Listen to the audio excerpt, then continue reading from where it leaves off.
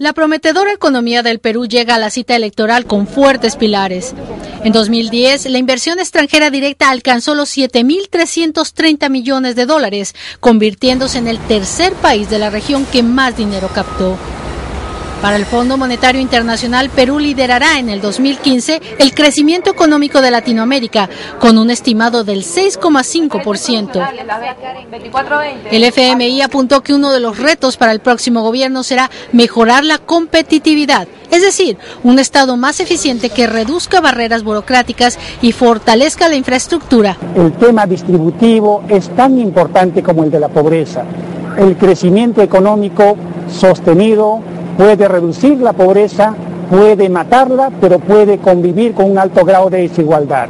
Y la desigualdad hace el crecimiento insostenible en el largo plazo.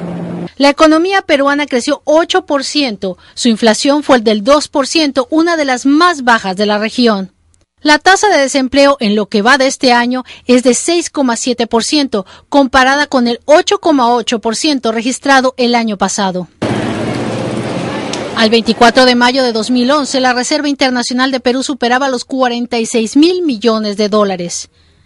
Este es el estado financiero que recibirá el candidato ganador de la segunda vuelta este domingo. Este es el Perú que deja el presidente Alan García.